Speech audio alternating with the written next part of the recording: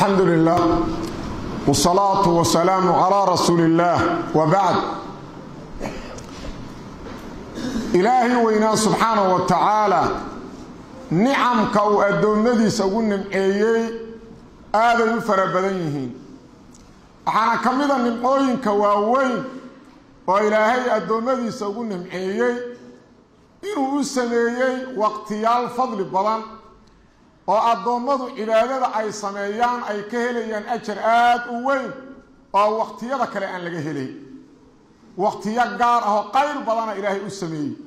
Si dadku ay u badiyaan ajarka iyo xasanaadka ay shaqaysanayaan oo ay ugu badbaadaan yowma laa yanfacu maalun walaa banuun ilaa man ata allaha biqalbin saliim.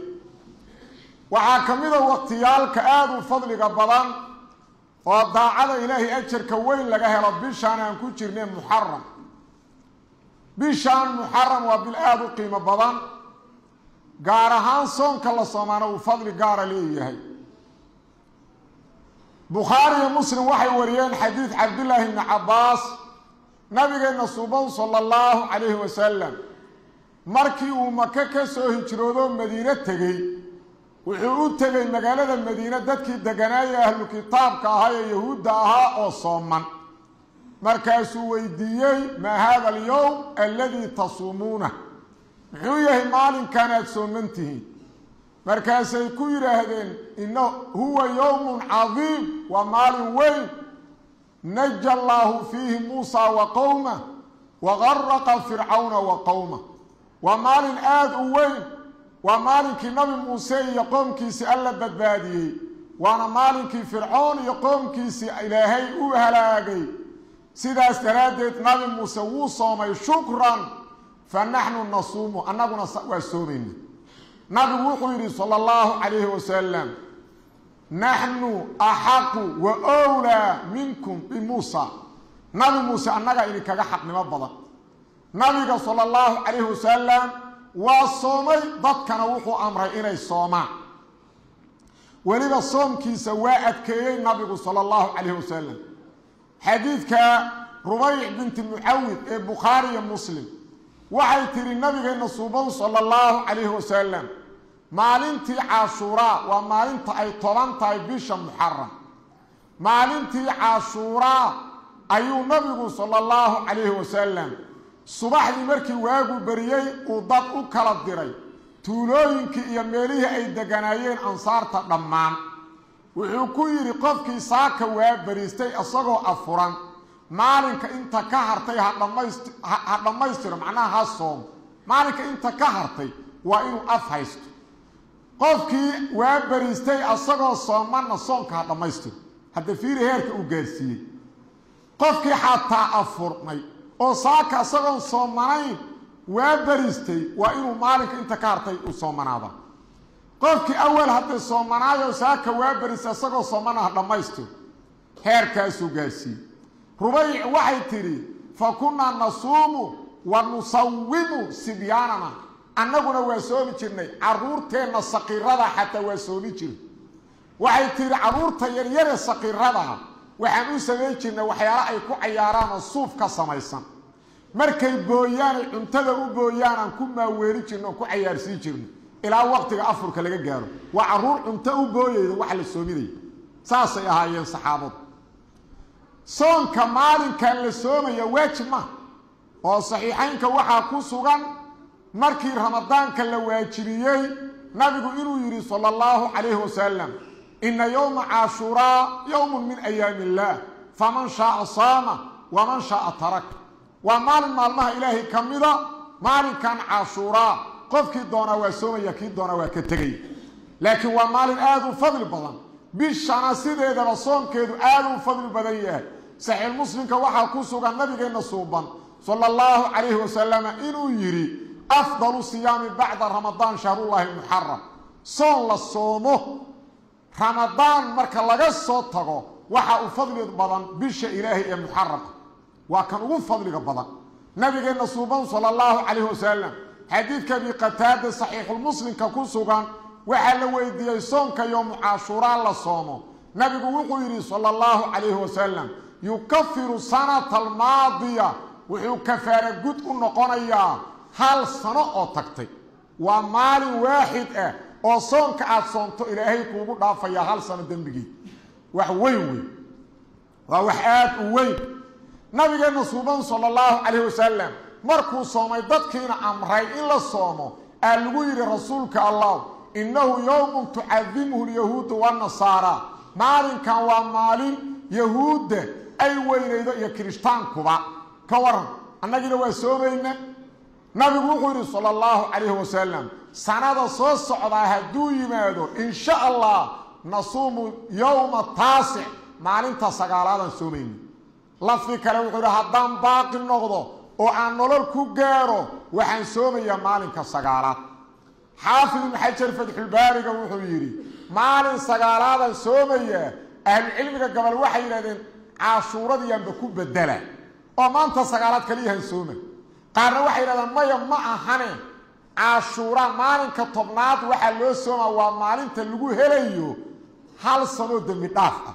Sagaalaadna waxaa nabigu u soomayaa yahuuddu ku khilaafa ilaa nabigeenna suuban sala allahu calayhi wasalam wuxuu jeclaa wax walba yahuudda inuu ku khilaafo ayaguna hal maalin ha soomeen muslimiintuna laba maalin.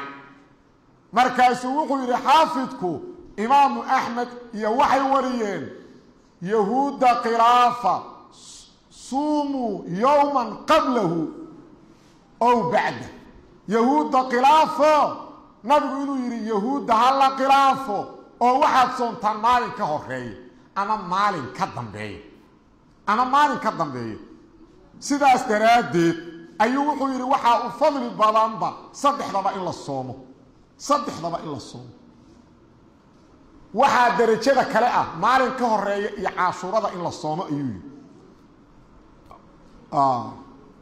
waxaa derajada saddexaad ah caashuurada keligeed in la soomo. Taas waa derajada saddexaad saasuu ka dhigay xaafidka fayxulbaari saas daraaddeed sunnadu waxay tahay oo ugu dadaal wanaagsan in la sameeyo waxaa ka mid ah maalinka sagaalaad in la soomo si yahuudda loo khilaafo maalinka tobnaadoo halka sano dembi dhaafka lagu helayana la soomo.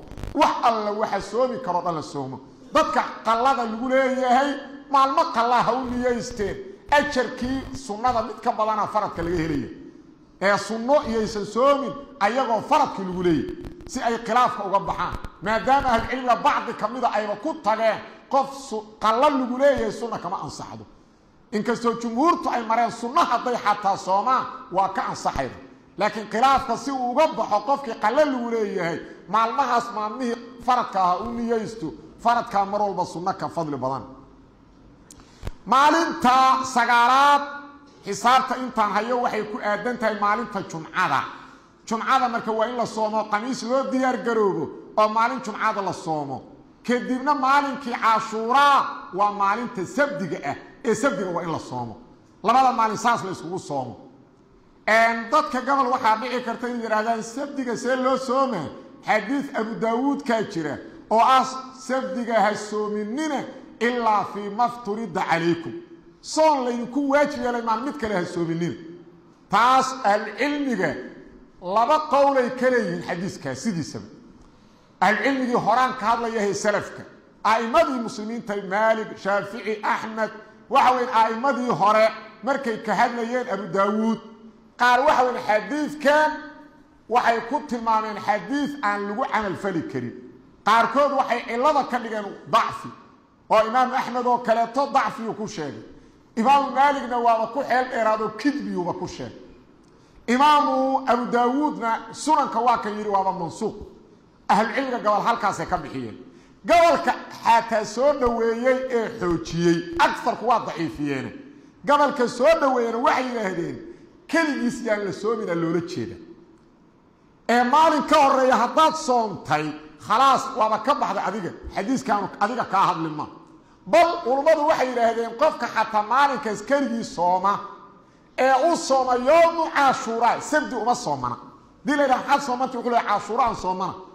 Oo sunnada mu'akadada hadday ku soo aado maba ku jira yidhahdeen dadkii laga hadlayay si kastaba ahaatee culummadu labada dariiq ayay mareen qaar yidhi xadiisku mid lagu camal fala ma ahano maba sugna ama waa mansuuq iyo gobolkii sugay oo yidhaahdeen keligiisaa la diidayaahe ma ahan maalin ka horrayda haddii lagu daro.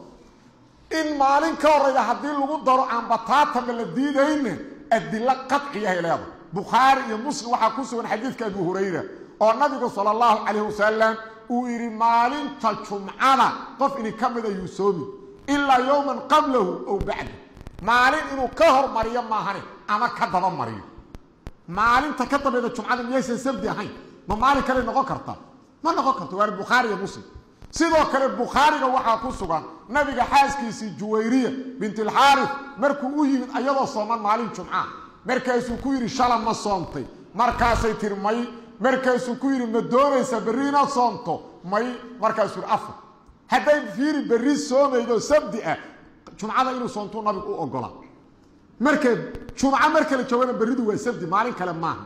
Axaadiista marka cadcaday leedahay qofka labada maalin isku sooma ishkaal ma imaan karo aan ka faa'iidaysanno kayrka ummaddana aan gaadhsiinno aanna u diyaargarowno wa sala allahu wasalama wbaaraka calaa nabiyina muxamed